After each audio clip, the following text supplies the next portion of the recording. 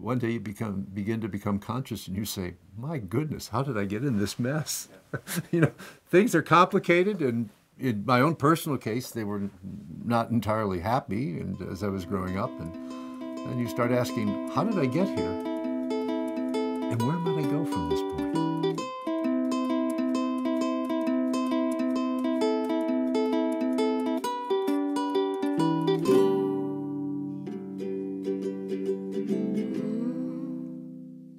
In classic narratives of conversion and faith, doubt historically has often been represented as a phase that someone goes through before coming to faith, or as a crisis that leads to faith.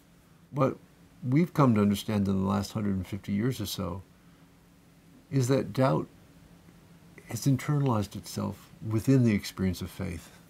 And I think so, for so many of us, adult life involves knowing that we once felt and thought differently and had a, a, a, feeling of magical wholeness that we've lost.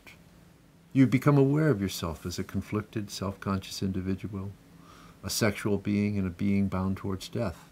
Narrative can help us by giving us the capacity to find in the record of the past, and specifically God's faithfulness in the past, grounds for hope for the future. The Bible begins in a garden and ends in a city. And I've always tried to tell my students, and remind myself, that's why in, in human life our goal can't be to go back to the innocence of the childhood we have lost. The way back is barred. The Christian life is about the way forward. But the way forward is the way forward through the cross and the empty tomb the older I get, the less nostalgic I become, and the more I become oriented towards the future. Eliot says it in four quartets says old men ought to be explorers.